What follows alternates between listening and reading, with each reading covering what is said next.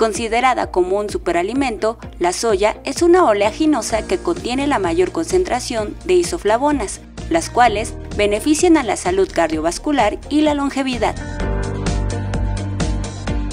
La soya es uno de los principales ingredientes utilizados para sustituir la proteína animal, ya que es una excelente fuente de proteína vegetal y además es muy versátil.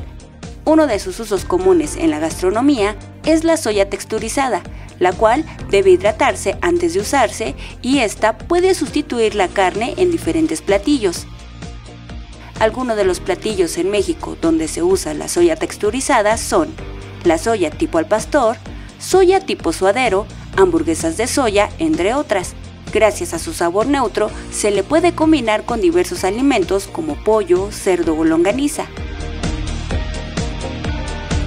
Incluir soya en tu dieta trae diversos beneficios para la salud, entre ellos ayuda a mejorar la circulación de la sangre, auxilia en el control de la diabetes y aporta un alto valor nutricional. La soya contiene los nueve aminoácidos esenciales, por lo que es fuente de proteína completa. Además, posee una gran cantidad de hierro, calcio, fósforo, potasio y zinc.